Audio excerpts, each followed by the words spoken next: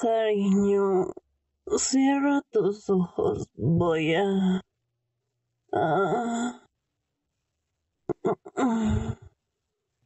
¿Me desmayé de la vergüenza?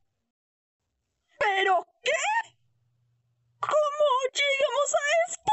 Yor, por favor, no vuelvas a beber. Te dejaste llevar demasiado. Ya no siento las piernas desde hace unas dos horas. La parte buena es que tu hermano cree completamente en nuestra relación.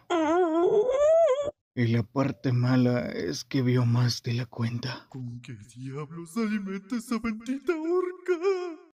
¡Oh no! ¡Pero qué vergüenza! Por lo menos nadie más resultó afectado.